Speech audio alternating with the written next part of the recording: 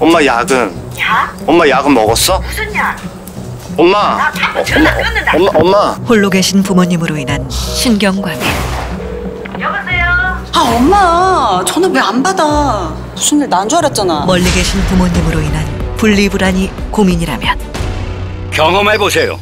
디지콜을 쓰신 날과 안 쓰신 날의 차이.